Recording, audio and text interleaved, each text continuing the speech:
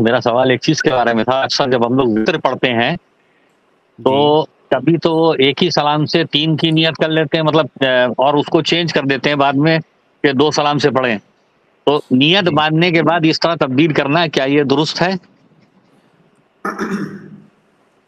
देखिए जब आप नमाज़ शुरू करें उसी वक्त आप नियत करें कि आप एक रकात वित्र पढ़ने जा रहे हैं या तीन रकात वित्र पढ़ने जा रहे हैं। आपको दरमियान में चेंज नहीं करना है नियत। क्योंकि नमाज़ में जिस तरह से वो नमाजें जो दो तरह से अदा हो सकती हैं उसमें ये तयन करना ज़रूरी है कि आप किस तरह अदा करने जा रहे हैं।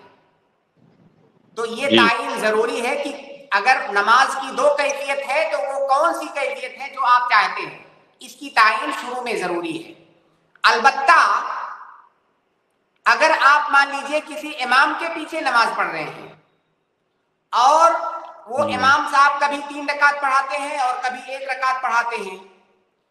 और वो बता नहीं रहे हैं आपको उन्होंने नमाज़ शुरू कर दिया। अब आपको पता नहीं है कि वो इमाम साहब एक पढ़ने वाले हैं कि तीन पढ़ने वाले हैं।